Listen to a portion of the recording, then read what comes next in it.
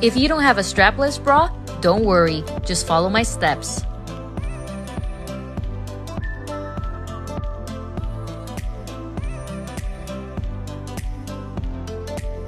That's it guys, Follow.